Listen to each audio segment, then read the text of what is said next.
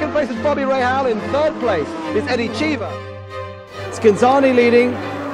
In second place, Lap one, it's Bob Wollek, and now up to second place again, Riccardo Patrese.